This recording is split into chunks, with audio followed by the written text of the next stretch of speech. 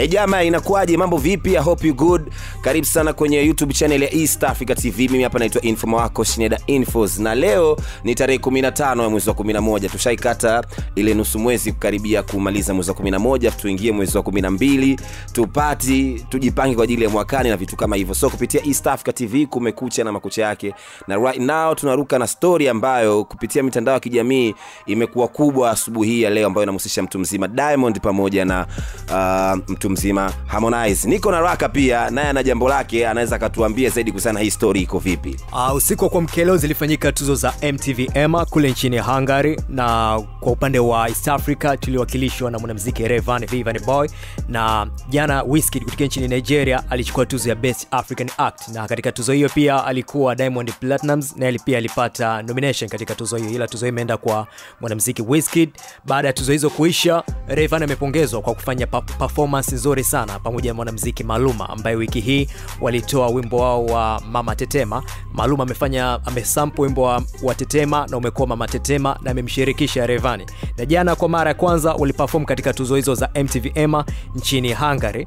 Baada ya tuzo hizo, Diamond kupitia ukurasa wake wa Instagram amempongeza Revani na kuandika ujumbe huu: the first African artist to perform MTV EMA, Rayvanny Chui, na wakumbusha msanii wa kwanza Afrika kuperform MTV EMA anatokea Tanzania, mkoa wa Wasafi na sasa ni rais wa Next Level Mheshimiwa Revani. Vijana wenzangu, tujifunzeni kuwa na nidhamu na fadhila ili sanaa zetu zitufikishe mbali zaidi na tusiishie kwenye mihadarati. Huo ni ujumbe ambao ameandika Diamond Platnumz asubuhi hii, na inasemekana kwamba kuna upande wa pili, kuna mtu kwamba hilo hilo dongo anahisi limekwenda kwake, ile sehemu ya mwisho kwamba vijana wenzangu, tuji, tujifunzeni kuwa na nidhamu na fadhila ili sanaa zetu zitufikishe mbali zaidi na tusiishie kwenye mihadarati. Huyo huyo Diamond kaandika kuhusiana na Rayvanny, vijana wenzangu tujifunzeni kuwa na nidhamu tusiishie kwenye mihadarati. Sasa si tunaweka hapo hapo nukta, bwana Raka. Vijana wenzangu, tujifunze kuwa na nidhamu, tusiishie kwenye mihadarati.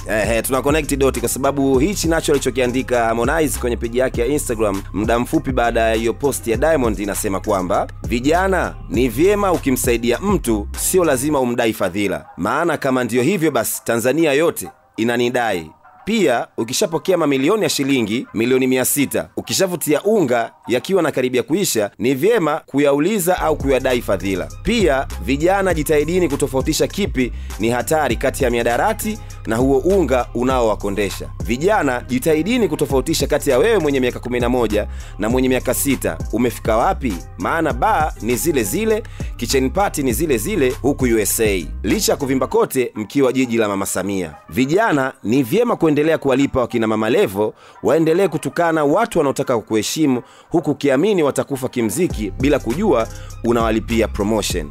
Vijana, jifunzeni kuposti msanii wako akitoa wimbo, sio kuumia kwa kutolewa kwenye kolabo, na sio kutafuta pa kutokea kujipatia kijana mwenzio. Sio vizuri kaka. Mkishakosaga tuzo zisizonunulika, msikimbilie ngada haraka, rudini studio, subirieni Afrima. Hii hapa inasemekana ni kama amejibu kwa kile alichokiandika mtu mzima Diamond. Is true or not, Raka? Uh, doti kwamba hilo hicho kitu uh, kinaenda maana amesema kwamba vijana jifunzeni kuwa na nidhamu mm. uh, ili kuyapata mafanikio, msikimbilie kwenye miadarati mm. na najua kwamba Harmonize ni msanii wa zamani wa record label ya Wasafi ambayo inamilikiwa na Diamond, aliitoa mwaka 2019 Yes. na baada ya hapo akaanzisha record label yake, na Rayvanny naye pia mwaka huu ameanzisha lebo yake Level ya. Next Level Music, lakini pia ame mahusiano maz, mazuri na lebo yake ya zamani ya Wasafi.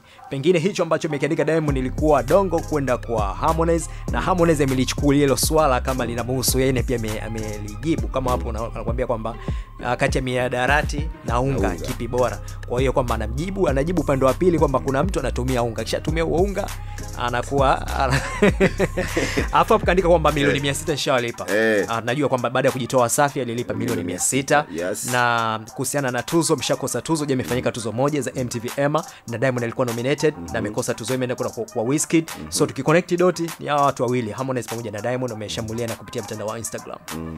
hii hii inatafsiri nini mzee? Kwenye game make game safari imechangamka sana ukianzia mwezi wa sita kuja huku chini back to back za ngoma albums stories zimekuwa nyingi sana baina ya watu wawili Uh, hili ni jambo zuri kwa upande wa entertainment. Mtu kama Swizz Beatz akiliona jambo kama hili kwake nalichukulia kibiashara zaidi. Mm. anamwita diamond basi anamwita harmonize inafanyika versus battle. Mm-hmm. tuone nani mkali kati ya hit na hit. Harmonize apige kwa ngwaru Yeah. huku diamond apige moyo wangu apambane pale jukwani. Kibiashara yeah. zaidi linakuwa post. Vile kibongobongo mm-hmm. uh, ishi inakuwa kitim zaidi. Inalikuwa mm. nalipuka hapo utaona timu sasa timu harmonize wataongea kwao kina chibaba wale huku timu diamond kina baba levo mbona katajwa hapo wa mama levo? Ameitwa mama levo itabidi tumtafute naye yes. Sawa lakini kwenye swala la branding mi nimaliza sana swala la branding raka. Brandi zetu tunazitengeneza kwa nguvu sana kwa shida kwa muda mrefu lakini stori zinakuwa nyingi za kuzishusha. Hapa kama nahusiana brandi wote international wasanii wakubwa tanzania na nje ya tanzania. Hili si unalionaje wewe kwenye swala la branding? Uh, watu wanabadilika na wanakuwa na mitazamo tofauti kwa mfano hii hapa ni sauti ya diamond mm. ilikuwa mwaka kitambo cha nyuma miaka nyuma mm. wakati ameachia ngoma chache sana mm. uh, 2013 14 hivi mm. alikuwa kwenye radio hapa anafanyiwa interview na anasikika akisema kwamba yeye hapendi kufanya interview mara kwa mara na hapendi kuongea mara kwa mara ili watu wasimzoe lakini kipindi hicho mm. social media haikuwa kubwa kama jinsi ambavyo imekuwa kwa sasa hivi kwa sasa hivi haina haja msanii kum, kumtafuta mpaka kwenye interview ukiingia kwenye instagram huko utakuta kashashusha ujumbe mzito kashachambana na nani E jama, e basi sawa, sisi tumemaliza ili asubuhi ya leo kuhusiana na ishu ya Diamond pamoja na Harmonize. Kama una comment yoyote na wewe unaweza ukashare nasi kupitia hapo chini kwenye YouTube ya East Africa TV. Feel free, andika chochote upande wa Diamond walichokiandika na hichi alichokijibu Harmonize kwenda kwa Diamond. Kwako imekaaje kaaje, na hasa kwenye game tunakaribia kufunga mwaka. Mimi naitwa Shinda Infozone Instagram. uh, go by the name silva raka facebook twitter and instagram kote nafahamika kama silva raka Bye bye kwa sasa.